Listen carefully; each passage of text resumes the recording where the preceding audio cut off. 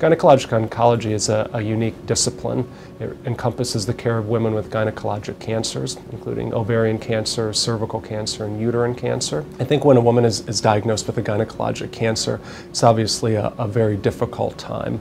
Here at Columbia University and, and New York Presbyterian Hospital, we have a comprehensive program for the care of women with gynecologic malignancies. So this involves interaction with their physician, with patient navigators, with our clinical coordinators, as well as a host of support services including integrative medicine, social work, and, and counseling services. Now is an exciting time for gynecologic oncology.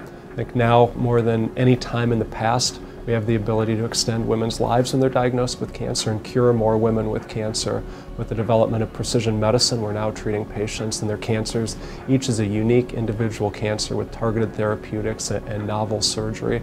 So there's really hope for women who are diagnosed with gynecologic cancers. I'm honored to be able to treat my patients and, and I'm always learning from my patients and I'm inspired by their courage.